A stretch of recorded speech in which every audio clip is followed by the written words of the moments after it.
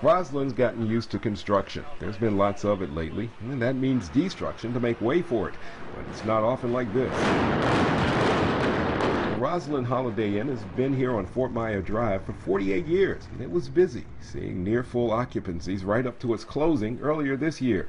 But its architecture, bold for the 70s, seemed downright archaic against the backdrop of the glass and steel towers that have grown up around it.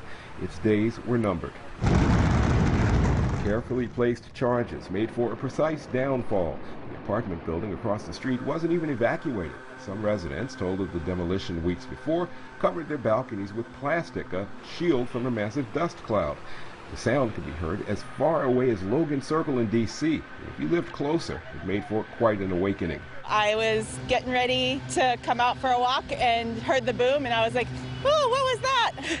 Crews went immediately about the task of clearing the dust from Gateway Park, and big machines got busy clearing the rubble where the hotel stood just minutes before. Change is coming to both sides of the street. The Marriott, the Key Bridge Marriott, it's been here since 1959 and is the oldest Marriott hotel still in operation. There are going to be some changes there as well.